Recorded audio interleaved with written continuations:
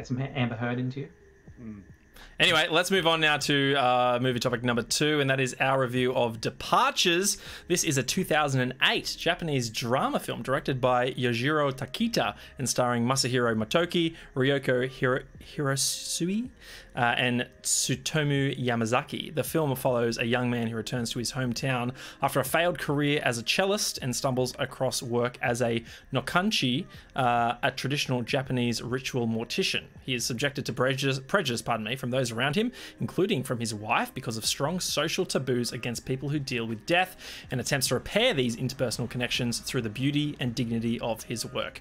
The idea for Departures arose after Motoki, uh, affected by having seen a funeral ceremony along the Ganges when traveling in India, read widely on the subject of death and came across Coffin Man. He felt that the story would adapt well to film, and Departures was finished a decade later. Because of Japanese prejudices against those who handle the dead, distributors were reluctant to release it until a surprise grand prize win at the Montreal World Film Festival in August 2008.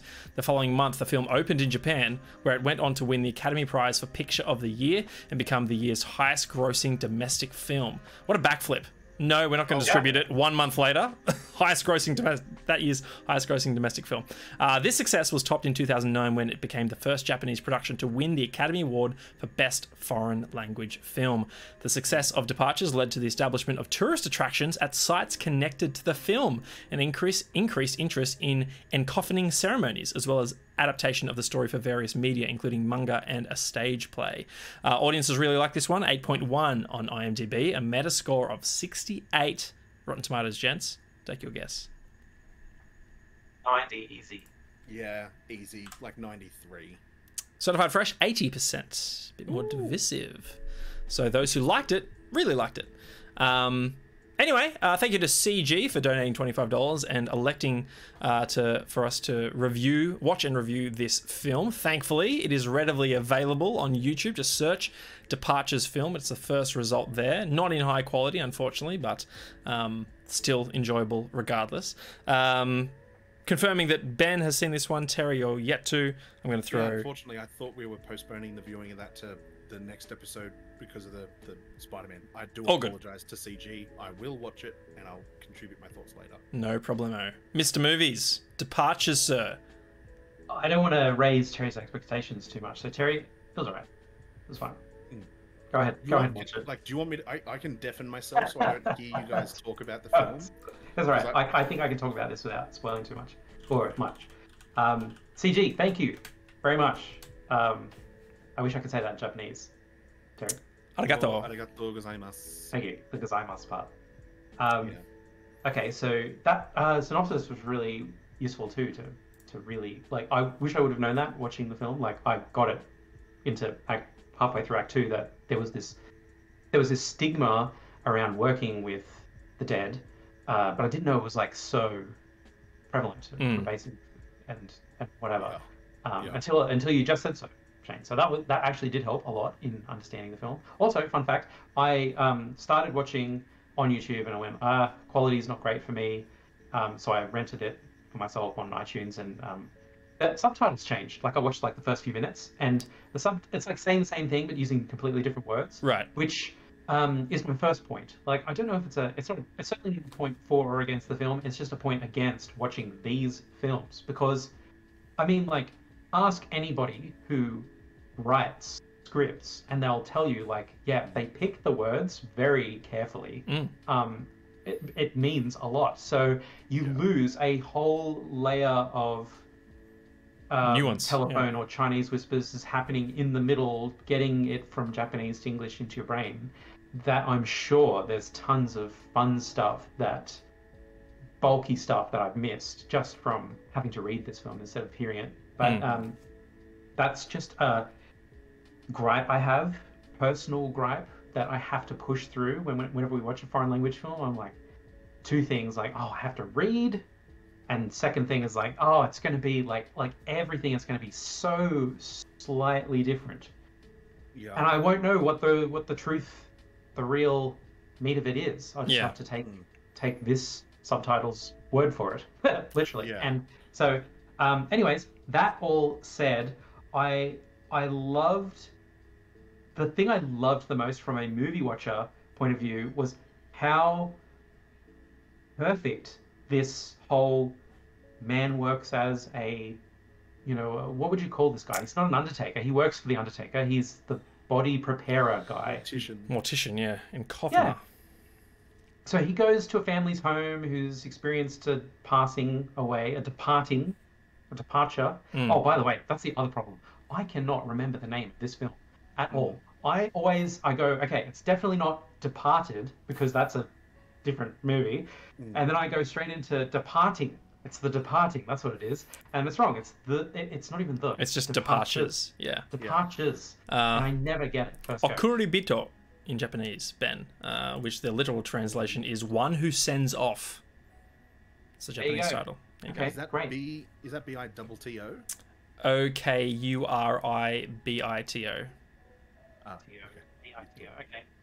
Um, okay, so anyway, um, quick setup. Main character falls into this line of work where he's preparing the dead for their final journey or whatever, and it's literally like a social experience. Like it's the family is present and they hmm. watch and they're just sitting there and they're sobbing or they're reminiscing or they're just like just watching this this cool ceremony happen where he like cleans the body and dresses it and makeups it up and gets it ready for the coffin. Yeah, no, they no put- traditional Japanese ritual mortician. So that's the line of work, the the yeah, the ceremony, I suppose. Mm. I believe the movie said at the start that it was traditionally a job for the family members. They would, you Yeah. know, do this as a way of saying their final goodbyes or whatever before the before the funeral, and um, uh, and then it became like you got you know experts, professionals in making up somebody or you know in doing this in a way that you don't have to uh,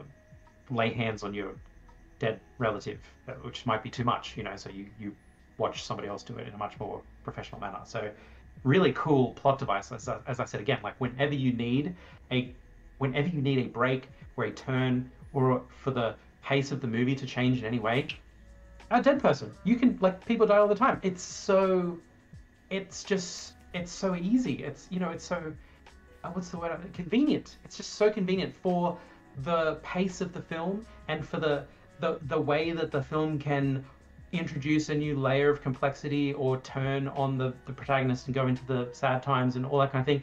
You can do anything with with a new. You know, I've, I've got to go and prepare this other dead person. It could be someone I knew. It could be somebody that um like like the one of them they arrive late and there's like this this real problem with like the, the I mean like you're you're you're coming to a client who's having the worst day of the year or the worst day of their lives or whatever their mother is dead or whatever and so um it could be you know that is the the hurdle we need to jump over now or the the the mountain we need to climb is Mm. is how we're going to get over the fact that this guy is like really angry at us and we're you know we're five minutes late to the appointment or what have you and and uh, so like really cool stuff. Like i just really liked that a lot. Like i really really did.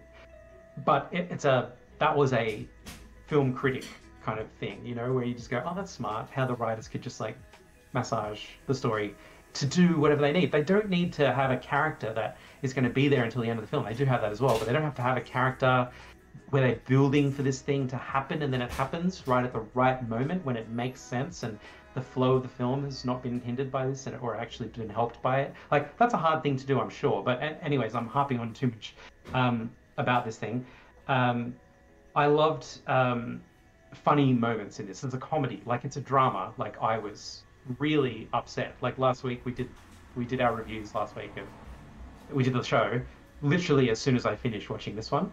Um, and I was very like torn into like in two I was emotional because the movie is just really good at taking me on a journey and they did it they, they did a very good job of it and um, there were some laughs to be had I loved um, I loved how there's like a kind of um, uh, you know what that's a spoilery one um, the, the, oh okay okay Let, It- let me deafen myself for like. No, minutes.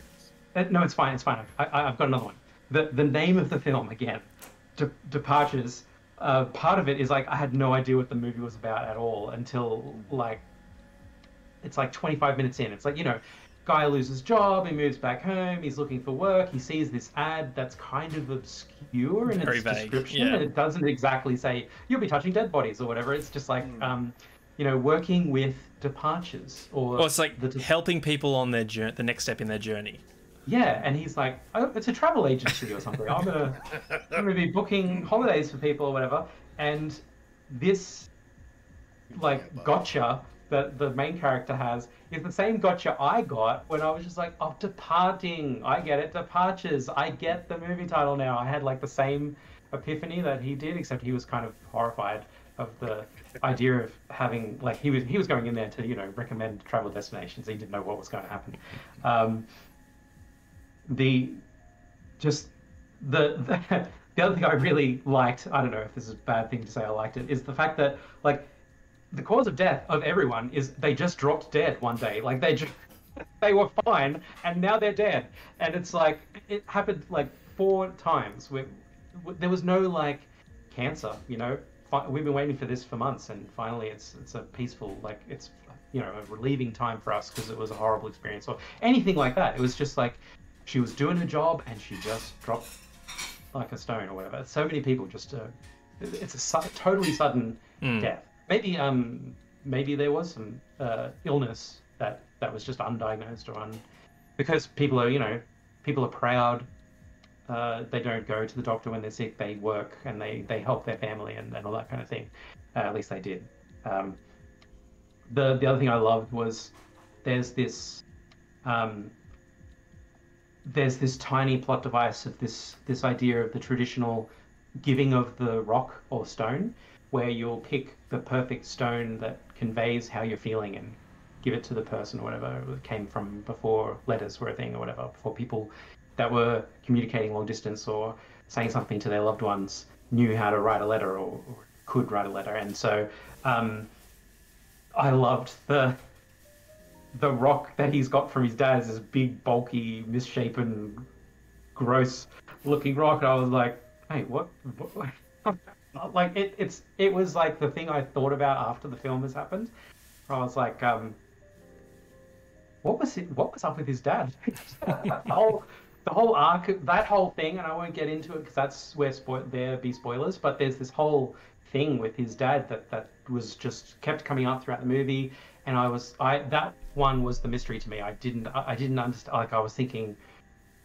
I, I don't know. I was thinking like, are we gonna like have some reveal of like he's gonna be reunited with his dad, or or is is it gonna like be revealed that something else happened, like something happened that that the, the, the story of his childhood doesn't match up and, and like I didn't know which way it was to go and um, made my guess and completely wrong like completely wrong Shane I, I was Scooby doing it the whole time and yeah it- I was I was I'm just really bad at guessing what's going to happen with plot lines like that and again uh, but but uh, the rock thing was just really funny because it's like he's giving these nice smooth small white nice looking rocks I'd love to receive a rock like that Yeah. but what he got from his dad when he was 12 or whatever was this like, yeah. like, kind of, it's only good for breaking windows, that rock. That's, that's all great, great for. Anyway, anything else I want to say has spoilers tied to it, Shane. So let me pass it back to you. Maybe we can riff some. Maybe you've got a different opinion of this film. Yeah, no worries. Um, yeah, I, I like. Uh, I, the, the biggest thing I, I came away thinking with this film the, is the fantastic job it does um, exploring that theme around the, the, the stigma of death and the um, yeah the, the the shame, the apparent shame that comes with with working uh, in a in an occupation like this one. Um, I think the way that it's explored with with his wife Mika, so Di- Daigo's the main character, his wife Mika, um, man, she delivers some lines that you know, if if you're not in a healthy relationship where you can um, have a an, an argument or a discussion or you know come to a resolution in a healthy way, they they can be viewed, at least in my mind, as poisonous lines, man. Like the things she says to him based on his you know newfound occupation that he is finding fulfillment in. Um, I was I was heartbroken for him, so I really enjoyed that. Um, what you mentioned, The thing about that, I, I remember thinking uh, with the with the wife and their relationship it's like it's portrayed as very positive, like they've got a very strong bond. yeah, But there's this thing that happened, I, and again, I figured it was a cultural thing that I wasn't picking up on or something. But but other poorly written films do this as well, where he's not telling her about anything that he like he's had a bad day at work and he's just like it's nothing it's fine and and like just just eating it internally and not sharing uh, anything with his wife about his career and job and stuff like Mm. he quits he quits his old job and doesn't really like telling her is like the hardest part of his day or, or whatever like he I, I don't know if it's like a japanese thing like there's shame in this and it's the man's job to take all the burden of breadwinning and stuff and bring the wealth to the family without help. And i don't know if that's a thing but it certainly felt like it was a thing here and i was constantly just thinking like a western like just just talk about it just talk about it it'll be fine. Bring, just sit down and flesh it out. And then when the con- like there's a confrontation about the job thing going down like she's gotten the the biggest straw man argument for what he does like she has no idea really what it entails and i'm just sitting there the whole time thinking like man if you just sit down and explain what it is Mm. that you're doing for these people and for their family and so on like she'll get it i'm sure but it, like they don't do that and it's Yeah. just really odd to me that that whole thing doesn't happen yeah, I totally vibe with that as well. Like that was my uh, disconnection from from that whole perspective because I, I I can't relate in any way to that. Like the idea that there might be any shame attached to working or having a job in this in this line of work or you know being in this field of of, of death um, is just I, I, I can't I honestly can't believe that anyone might think that. Um, so yeah, I, I really couldn't connect with that. I like what you said, Ben, around just the mechanics of the storytelling for this one as well. You know, you mentioned just a another dead person that, that depending on the circumstances, it can you know shape the way that the, the story goes or the way the character evolves. Um, I think it's true in most um, films that follow a vocation, right? Like I think about you know, don't mean to make you laugh again, but Up in the Air, fantastic film. Um, you know, the the the different um, offices that uh, you know Anna Kendrick and and um, and uh, George Clooney's characters would, would visit, and the different curveballs that are thrown at them cause them to react in different ways, and the ca- characters evolve based on that journey as well. So um, yeah, I really enjoyed that. Um, I thought for the, for the most part the performances were great. I really think though that there might have been just a what what I felt like was a, a bit too much fat on this film. Like when you when you lay out the the bits of the story in sequ- sequential order, there isn't a lot explored here. Um, but it's like a two hour and ten minute film, um, and yeah, I, I I feel like maybe it could be I don't know a bit a bit slimmer. Um, They on just on further reflection. The whole, the whole montage. Just get rid of that whole thing. Oh, actually, I I- enjoy that. Like, I, I want to talk about the music as well because the, the whole the whole cellist um, pieces like throughout, scattered, beautiful, beautiful music, um, and they, they bring back themes as well in those in those final moments. Um, I do have one gripe, and that was there during that montage. There's um the, the what the actions of the of of you know Daigo playing the cello in some moments aren't matching the music that you're hearing. Um, Right. So yeah, I thought that was just a faux pas. But um, That's look- why I can't watch The Crow anymore because he does like this guitar solo in the middle of the movie for no reason on top of the the croft or whatever he lives in, and he's just going like, like I don't know, Yeah. it's his, his first time with a girl or something, and um like and there's like this intricate guitar solo playing over top, and and they like zoom in on the the fingers on the neck of the guitar. I'm like, get away! Like I don't I don't believe you. It doesn't work. Um, I honestly I didn't notice that myself. I didn't Okay. notice.